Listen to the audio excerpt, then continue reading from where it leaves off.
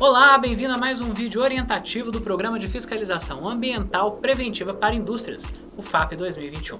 Um dos setores ou atividades industriais selecionados pela SEMAD com base no seu planejamento anual estratégico para a quinta edição do programa FAP foi o setor de fabricação de cerveja. Com base no Decreto 47.383 de 2018 e alterado pelo Decreto 47.837 de 2020, vamos falar das principais infrações cometidas por esse setor.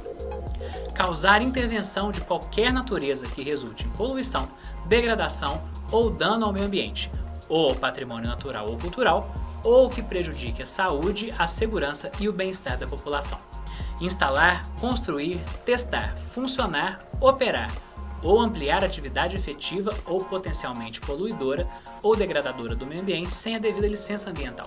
Captar ou derivar água superficial sem a devida outorga ou em desconformidade com a mesma, além de desrespeitar total ou parcialmente a penalidade de suspensão ou embargo.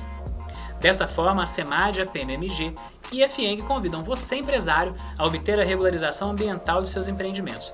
Procure já por um analista ambiental da FIENG. Para saber mais, acesse www.fieng.com.br/fap.